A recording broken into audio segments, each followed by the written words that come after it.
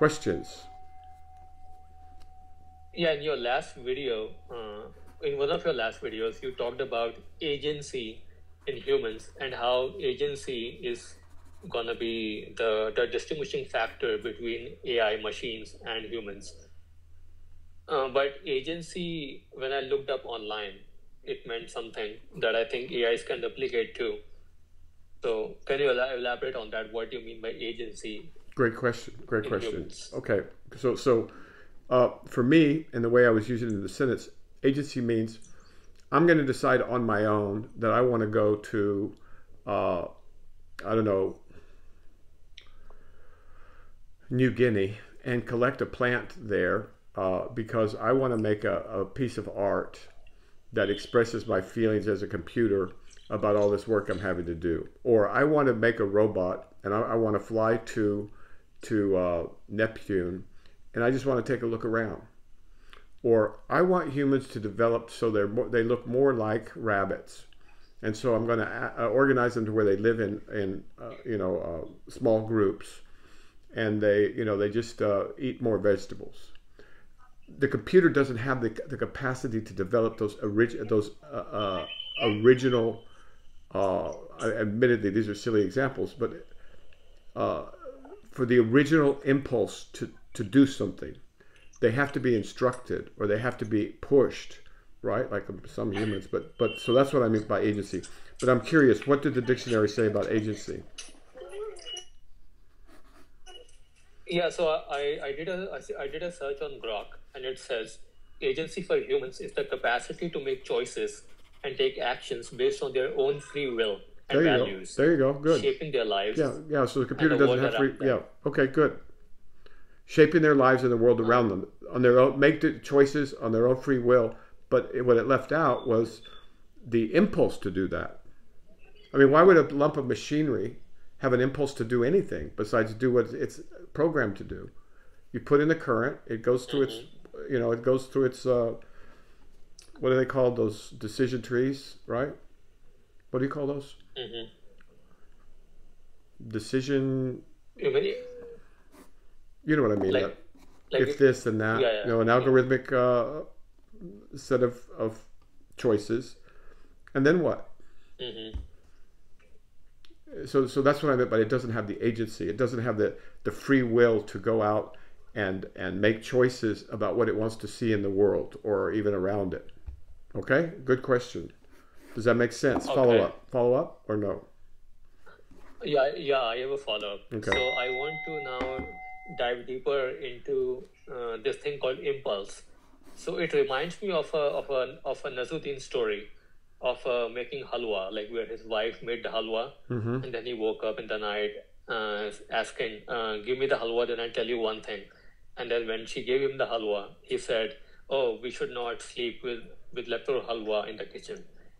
Uh, right. What I understood that is was that there was an impulse uh, to eat, like to have something gratifying and then he rationalized that, and then he had the halwa.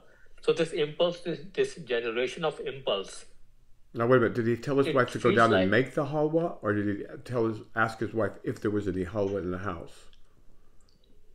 Uh, so so what happened that in the morning he asked his wife to make the halwa. I see. Uh, and then she made the halwa, and he ate a, he ate like more than half of it in the day mm-hmm. and then they left over and they kept the leftovers. Then they went to bed in the night. Okay. Uh, but then he maybe got hungry or something like that, mm-hmm. and then he asked his wife, "I'll tell you, I'll tell you a very important thing.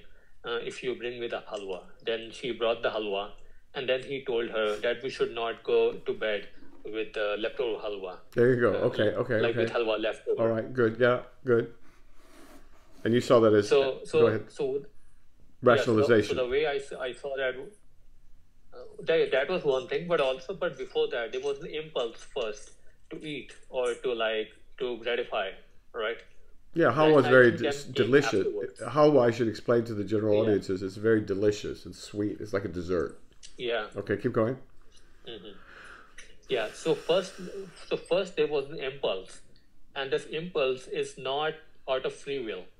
It's how the like the the the mind or the like the the pain and pleasure center in the body works, right? Yeah. So humans are do not. So humans do not have free will when it comes to impulse. Right. Go on. Right. So so, and this impulse is coming from either from being pleasure center or from the conditioning. Right. Do so animals have free way, will? Do animals a, have free will when it comes to uh, impulse? So animals also will have the same thing. They will feel hungry and they will not have the free will. So they will feel hungry and they will wanna eat. What about a Venus flytrap? You know what a Venus flytrap is, right? No, I don't. Okay, know. it's a plant. It's a carnivorous plant, and it's got these. It's got mm-hmm. beautiful petals, right? And then if a if a mm-hmm. fly lands inside the the petals, it closes its mouth and it eats the fly, right? So if a fly lands anywhere close to that, definitely has the impulse to close and to eat that that fly. All right, go ahead. So now what are we talking about? Yeah. So so yeah so so what I was saying that a, that a differentiation of free will when it comes to agency in humans versus AI, it seems to me that humans un- maybe unless they are enlightened or they have woken up, they still don't have free will. They're still acting out of impulses and conditioning. Okay, who said anything about free so, will? Where'd you get this notion of free will? right?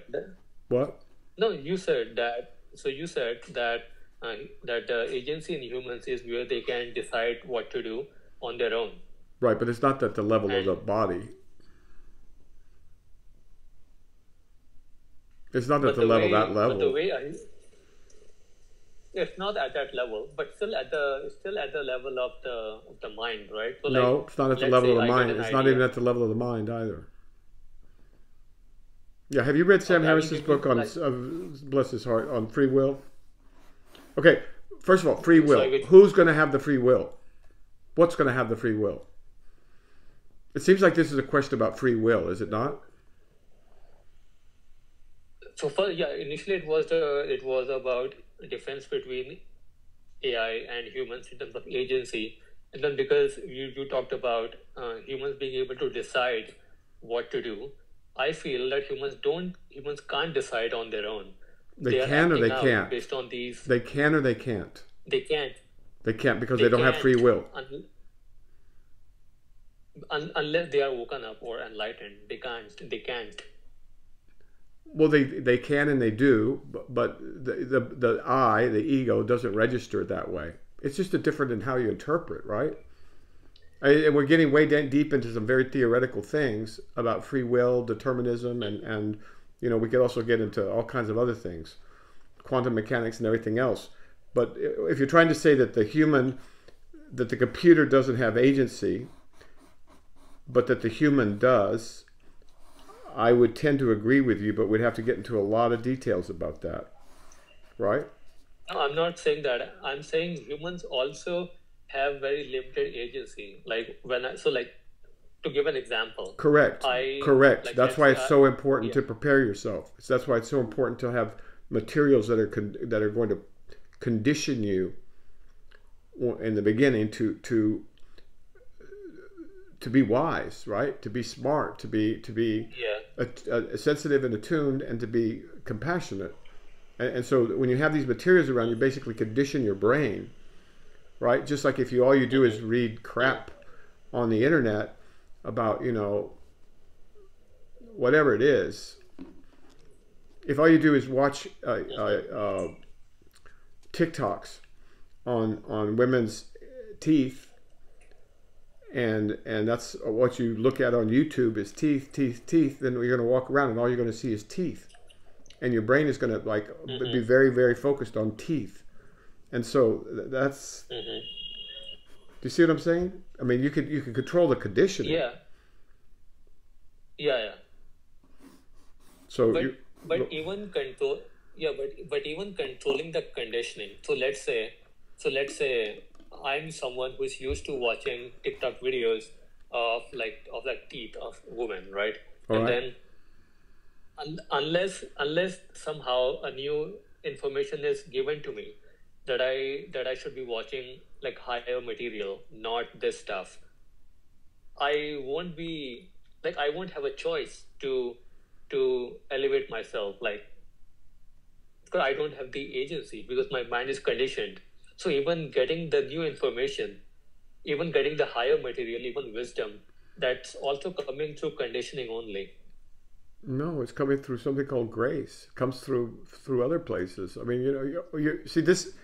I'm getting lost because it sounds like you're trying to reduce everything to conditioning, and you're trying to make everything about free will or agency. Right? You're trying to collapse okay. the world into these okay. like three concepts.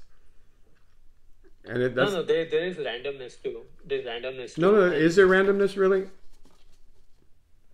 Stephen Wolfram doesn't think so. So, so like when let's so take like let's take this. let's take like, okay. Let's take a bunch of molecules in a in a piston, right? Gas molecules in a piston. Mm-hmm. Mm-hmm.